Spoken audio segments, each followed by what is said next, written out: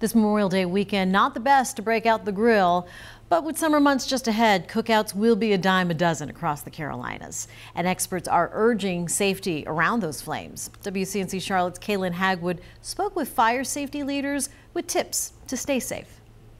Memorial Day kicks off the unofficial start of summer, which means more people will be firing up the grill. While a common task, the National Fire Protection Association says many have found themselves in a dangerous position, with more than 11,000 grill, hibachi, or barbecue related home fires reported on average annually between 2017 and 2021. Gas grills were involved in an average of roughly 9,000 home fires, with leaks or breaks a primary problem. It's why the association says you should check the gas tank for issues before you use it and keep your grill clean by removing grease or fat buildup also, making sure you sort of have a clear zone around the grill. You don't want it right up against the house. You don't want it under a roof line. You certainly don't want it inside.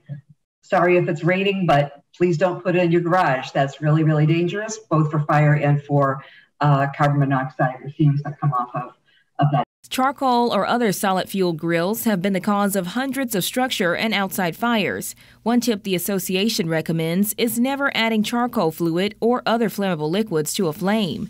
And keep these liquids and other heat sources away from kids, as children under five account for thousands of burns each year.